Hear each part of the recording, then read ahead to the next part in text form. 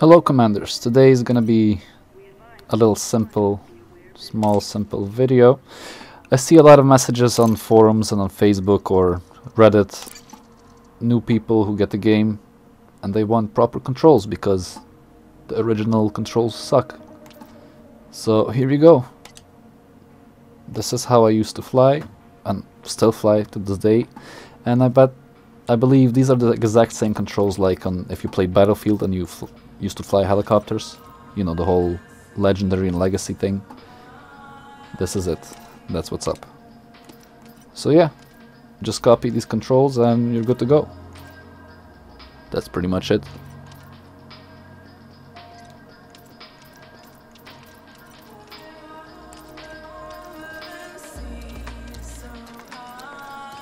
This right here is important. Um, instead of holding the right bumper or instead of holding your bumpers to go backwards or forward here you have to click four times and you go full speed. You click four times left bumper again then you stop. And the other way around. So you don't have to look at your speed again.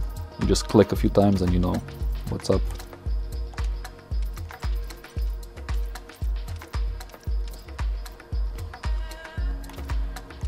There's new default to standard controls. What Back in the day we just disable it and that's it. Oh.